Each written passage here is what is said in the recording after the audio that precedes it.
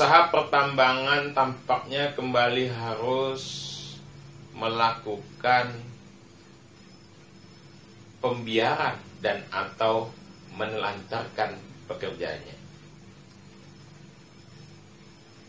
Setelah sebelumnya PT KBM Said Sukan, kini kembali PT KBM melakukan upaya serupa kepada ratusan pekerjanya di dua site berbeda yakni site Lamin dan site BJU.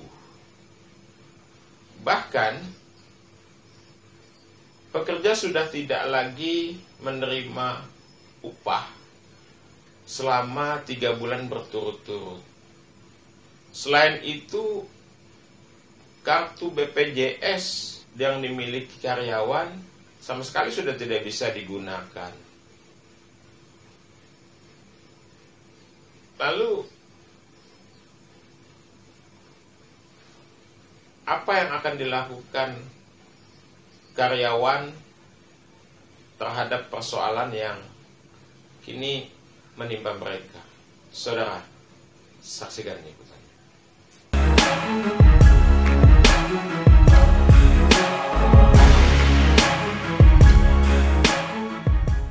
Kok kalian tiba-tiba rame-rame datang ke PC SPK SPSI ada apa ya?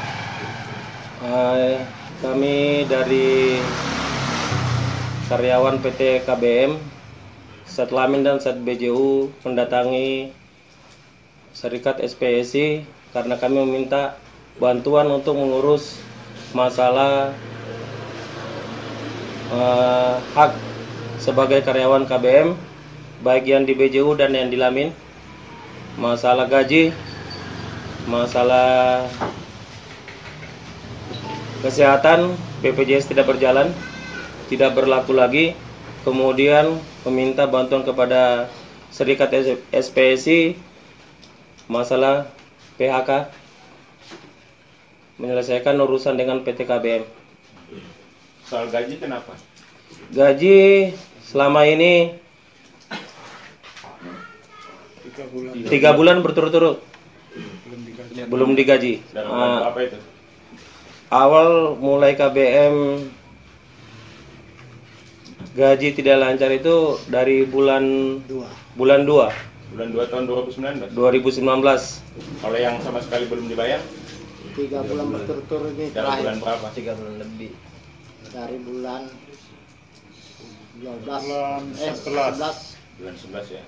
Masalah BPJS yang telat berapa bulan ini sehingga kami tidak bisa berobat atau BPJS-nya kok bisa ndak dibayar itu gimana ceritanya? ya kurang tahu juga masalahnya pak cuman di slip gaji itu terpotong terus Di slip gaji Di slip termasuk gaji. yang terlambat-terlambat ini tetap terpotong. iya Ya. Pemotongan itu waktu gaji lancar kemarin sudah dipotong kan otomatis, tapi BPJS-nya mulai tidak berlaku kapan? hanya bulan 8 mungkin tidak masuk. Sudah Mulai sudah mulai bisa masuk, tapi di slip gaji yang kalian terima tetap dipotong. tetap terpotong Kalau begitu uangnya ke mana? perlu pertanyakan pak. Pertanyakan. Oh gitu ya. Status kalian saat ini gimana? Dirumahkan. Di rumah kita? Sampai kapan rumahnya? Sampai tidak. Tanggal 29 bulan. 2 Bulan dua ini. Iya. Terus dalam surat perumahannya, nota perumahannya, kalau sampai tanggal 29 ini eh, sudah habis masa perumahan, itu tidak Apa? dijelaskan pak secara rinci di situ di memo karena ini bersifat memo aja jadi sama sekali belum kalian ketahui ah, bagaimana kelangsungan kalian dengan KBM ya. Iya. belum pak Jumlah karyawan yang mengalami nasib serupa dengan kalian ini di dua site ya, site BJU dan site Lamin ini ada berapa total karyawan semua? itu kalau totalnya kurang pasti pak karena se- sebagian sudah dikirim ke Kaltara buka site baru sana Oh, gitu. jadi yang sekarang yang ada ini mungkin Ter 150 lah dua set itu yang Dua site belum dipanggil ke sana. yang belum, yang sekarang Yang dirumahkan. yang dirumahkan, yang sekarang ini apa minta bantuan ke PC semuanya ada berapa? 58 orang 58. Dari 58 orang itu semua apakah semuanya pekerja luar daerah atau pekerja lokal? rata-rata kebanyakan 90 persen putra daerah 90% putra daerah ya. Baik kalau begitu. Harapan kalian kepada pemerintah sekarang apa?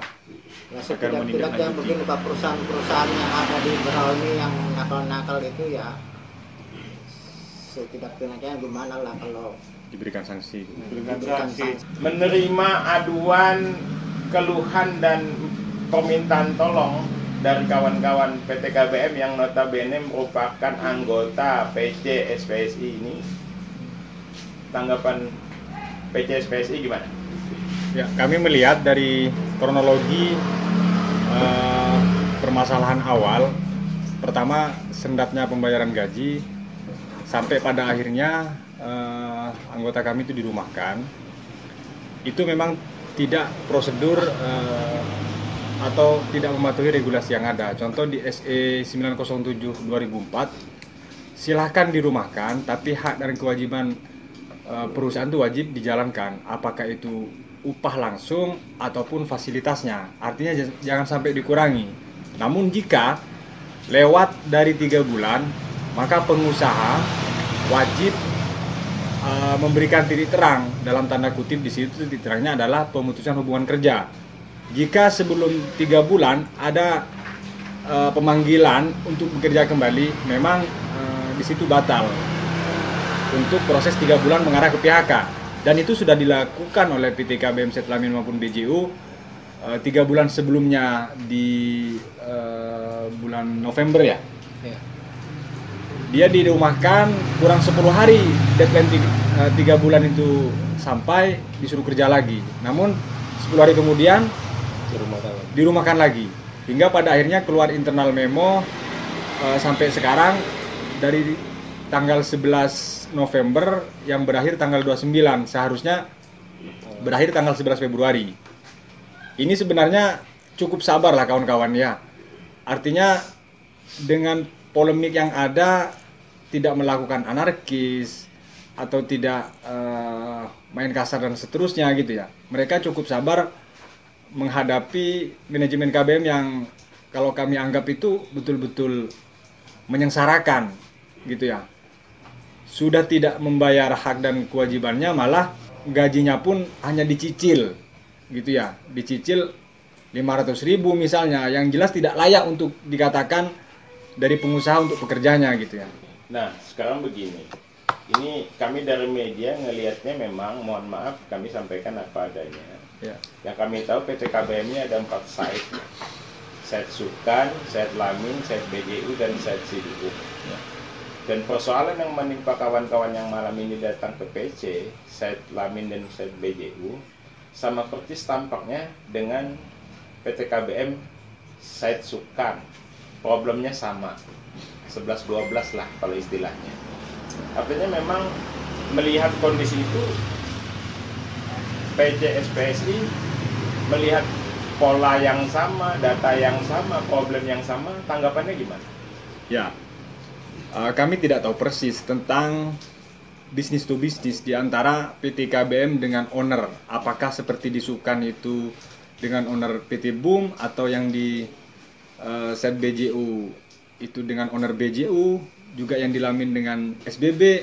Kami tidak tahu persis apa yang tertuang dalam MOU tersebut. Namun di sisi lain yang kami pahami adalah PT KBM adalah eh, badan usaha sendiri gitu ya. Artinya kalau dia sampai menyengsarakan pekerjanya dengan alasan tidak dibayar oleh owner atau eh, belum ada aliran dana dari owner dan seterusnya alasannya itu nomor sekian. Karena tanggung jawab PT KBM sebagai eh, badan usaha tadi wajib memberikan hak dan kesejahteraan para pekerjanya gitu ya. Terlepas polemik yang ada gitu ya. Karena terbentuknya badan usaha ini juga sebelum dia uh, memulai operasionalnya dia menunjukkan secara data kepada pemerintah setempat ataupun ke pemerintah pusat bahwa dia punya modal untuk melakukan pengembangan usahanya dan seterusnya gitu ya. Lantas sekarang eh, dia menyengsarakan, menelantarkan para pekerjanya dengan alasan klasik bahwa dia ada kendala dengan owner dan seterusnya. Kalau ku dengar masalah-masalah yang eh, seputaran berau, apakah yang di set Sukan maupun di eh, set Seduung, apalagi yang sudah dialami oleh kawan-kawan sekarang di BJU dan Lamin, kurang lebih seperti itu bahasanya. Yang kami maksud di PT KBM itu tentu punya tim eh, analisis project, gitu ya. Dia menandatangani MOU kepada owner, tentu dia sudah menganalisa kerugian keuntungan. Jangan saat mengalami kerugian dia menyangkut pautkan semua bahkan yang menjadi korban pekerjanya. Itu yang kami tidak eh, sepakat. Kami tidak minta muluk-muluk. Apa pun langkah yang dilakukan oleh PT KBM yang kami eh, tuntut adalah tolong sesuaikan dengan regulasi yang ada, patuhi undang-undang yang ada. Jangan sampai eh, anggota kami jadi korban. kaitannya dengan akhir masa perumahan tanggal 29 Februari Ya. dan tampaknya kawan-kawan karyawan PT KBM ini galau kaitannya dengan perumahan itu langkah PC SPSI agar ada kepastian kaitannya tanggal 29 itu Ya. bagaimana? Kalau kami secara prosedur eh, hukum tetap kami lalui mekanisme seperti bipartit atau mediasi bahkan ke PHI tetap kami lalui. Namun di sisi lain eh, kalau misalnya dari kami bersurat ingin berunding dan seterusnya kepada PT KBM tidak ditanggapi, artinya dalam tanda kutip jika kami eh, mengajukan tertulis melalui mekanisme regulasi tidak direspon berarti dari PT KBM juga menginginkan kami tidak eh, sesuai dengan mekanisme regulasi yang kami lakukan. Contoh, misalnya kami sampai melakukan eksekusi unit tanpa ada putusan dari PHI, kami akan lakukan. Kalau itu tidak di- direspon oleh manajemen KBM, berarti manajemen KBM menginginkan prosedur eh, penyelesaian ini tidak sesuai dengan regulasi. Kalau dia misalnya menginginkan penyelesaian ini sesuai dengan regulasi yang ada, oke kita layani. Namun ketika tidak direspon, tidak ditanggapi,